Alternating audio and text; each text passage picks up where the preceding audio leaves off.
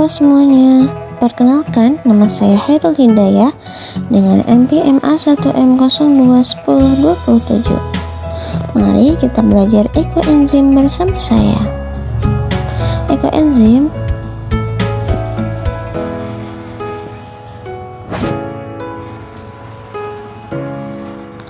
Apakah Anda tahu bahwa Indonesia menempati peringkat kedua di dunia sebagai penyampah makanan.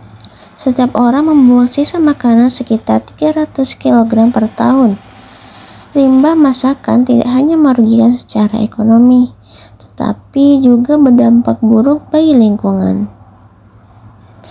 Limbah masakan adalah sisa makanan yang tidak terpakai atau terbuang karena berbagai alasan Limbah masakan merupakan masalah serius di Indonesia karena menyumbang 39,8% dari seluruh jenis sampah yang dihasilkan oleh masyarakat.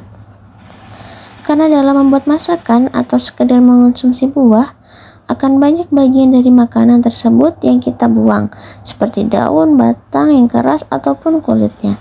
Dan jika bahan-bahan itu busuk, kita akan langsung membuangnya tanpa memikirkan dampak yang akan ditimbulkan. Nah, lima makanan menghasilkan gas metana yang merupakan gas rumah kaca yang berkontribusi terhadap perubahan iklim ataupun pemanasan global. Metana lebih efektif dalam merangkap panas di atmosfer daripada CO2, sekitar eh, 25 kali lebih efektif. Metana menyumbang sekitar 20% dari emisi gas rumah kaca. Apakah ada solusi dalam hal tersebut? Mari berkenalan dengan ekoenzim. Apa sih itu ekoenzim?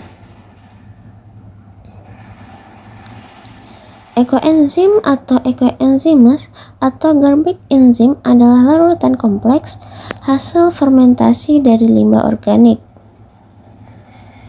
seperti limbah buah dan sayuran dengan gula atau molase dan air dengan bantuan mikroorganisme selektif dari kelompok jamur dan bakteri selama tiga bulan. Bagaimana cara kita membuat ekoenzim? Nah, untuk bahan hanya kita perlu tiga bahan saja, yaitu sampah organik, gula, dan air. Jadi perbandingan dalam bahan yaitu 3 banding 1 dibanding 10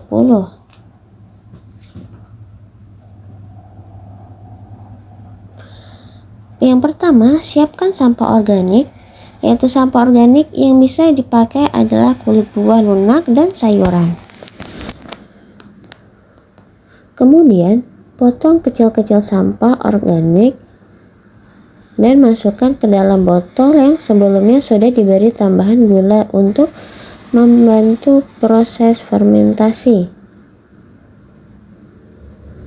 Nah, mari kita simak video berikut agar kita lebih memahami mengenai ekoenzim.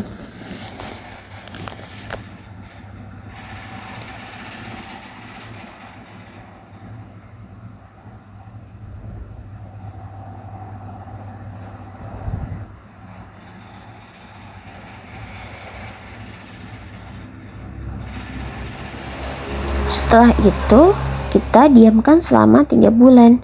Ekoenzim ini akan siap setelah lamanya 3 bulan. Perlu diingat, pastikan untuk membuka tutup pada botol setiap hari untuk menghindari penumpukan gas yang dapat menimbulkan ledakan.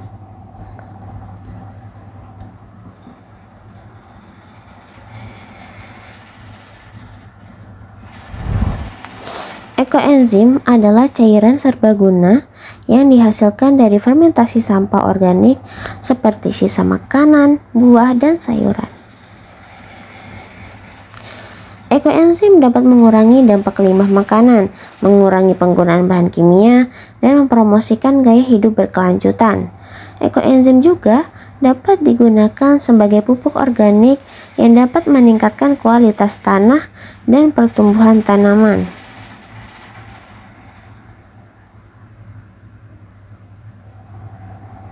Nah, bakteri apa saja yang tumbuh di dalam ekoenzim?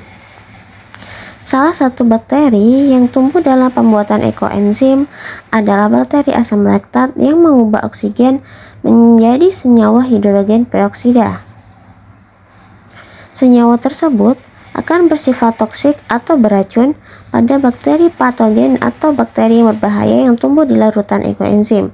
Namun dalam dosis rendah hidrogen peroksida juga berguna untuk disinfektan.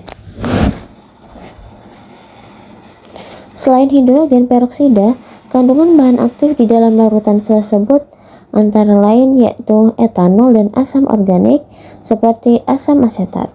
Sedangkan enzim yang ada di dalamnya ada enzim amilase, enzim lipase, dan enzim protease.